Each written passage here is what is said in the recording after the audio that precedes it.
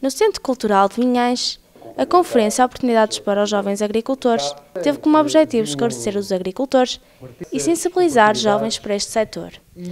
Foram debatidos vários assuntos por diferentes áreas relacionadas com o setor agrícola. A agricultura é uma atividade que não pode parar. É uma atividade muito importante em qualquer sociedade e quando principalmente pensamos que a agricultura está na base da própria uh, soberania de um povo para assegurar uma coisa que é básica, que é a alimentação. E os jovens precisam de tomar o lugar dos mais velhos. E como hoje em dia a sociedade é uma sociedade muito mais atrativa, uh, com muitas uh, possibilidades de escolha, é necessário que os jovens sintam que a agricultura está uh, ao nível dessas outras escolhas que o universo das profissões lhes oferece. E por isso a CAP, representando os agricultores e a agricultura a nível nacional, pretende uh, cativar os agricultores e chamá-los à sua capacidade de iniciativa e à sua capacidade de inovação. Uh, optámos por lançar um concurso eh, dos diferentes projetos que os agricultores fazem, os jovens agricultores têm acesso aos programas da Política Agrícola Comum específicos para os jovens agricultores e fazemos um concurso que depois se transforma num concurso europeu, onde os concursos, os vencedores dos concursos nacionais são avaliados juntamente com os diferentes outros países.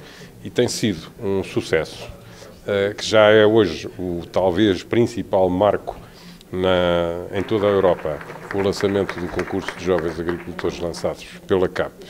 E, portanto, estamos certos de que, eh, neste caso, as entidades estão aqui de mãos dadas para tentar apoiar eh, este tipo de investimentos na agricultura. Como vimos hoje, bons exemplos a nível do, do, hum, do Instituto Politécnico de Bragança, da Universidade de Trás-os-Montes de Alto Douro, também a Direção Regional de Agricultura e, Trás, de, de, de, e Pescas do Norte também se associa a estes eventos, exatamente, e hoje vamos mostrar aqui alguns dos programas e projetos que há de apoio à, à agricultura e aos jovens agricultores, mas é óbvio que só os apoios financeiros não chegam, não é? Tem que ser muito mais, tem que, tem que haver aqui transferência de conhecimento, que já se falou aqui, uh, tem que haver aqui também por parte das entidades uma ótima colaboração, não é? Porque sabemos que muitas das vezes há aqui muita burocracia também na instalação e, e em determinados projetos e, portanto, uh, temos que ser resilientes. É essencial que se perceba que a agricultura não pode ser um setor de refúgio,